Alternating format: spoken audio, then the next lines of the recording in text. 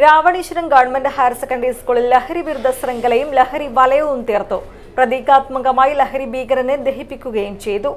കാസർഗോഡ് പുതിയ ബസ് സ്റ്റാൻഡിന് സമീപം പ്രവർത്തിച്ചിരുന്ന ഡോക്ടർ മൊയ്തീൻ കുഞ്ഞിയുടെ ഡയലൈഫ് ഡയബറ്റിക് സെന്റർ ഇനി മുതൽ കാസർഗോഡ് മുനിസിപ്പൽ ടൗൺ ഹാളിന് സമീപമുള്ള കെട്ടിടത്തിൽ.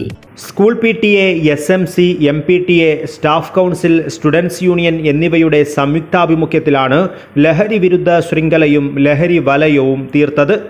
ലഹരി വിരുദ്ധ പ്രതിജ്ഞ school vice chairman Shivani Pavithran ചൊല്ലിക്കൊടുത്തു.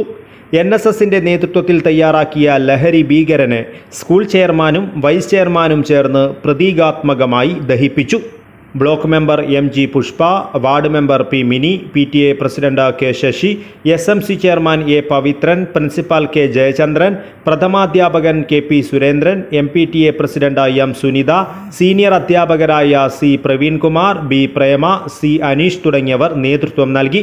തുടർന്ന് നടന്ന ലഹരി വിരുദ്ധ റാലിയിൽ N junior red cross scouts അംഗങ്ങൾ അണിനിരന്നു. News bureau Kasaragod.